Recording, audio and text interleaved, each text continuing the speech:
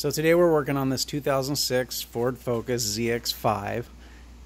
Has issues with the transmission. Uh, we verified the complaint. It has delayed forward and reverse engagement and also second gear is missing.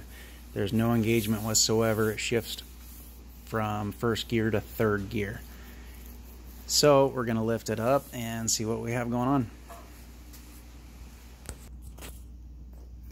Now that we have the vehicle up in the air, we can see that there is some pretty significant leakage.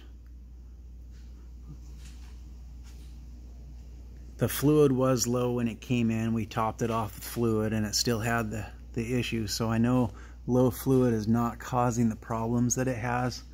Um, we also know that the customer has had this off and replaced the valve body and replaced the solenoids so now we will take that pan off and take a look at the valve body. Well, we have the pan off. The leakage, I'm assuming, is because the bolts were not fully tightened.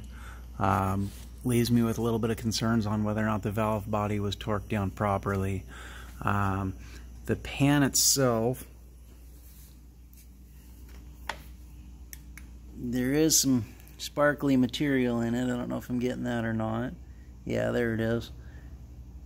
So there is some material in it, some metal.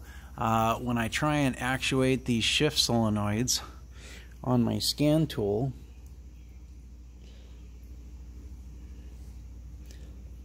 I try and turn these on.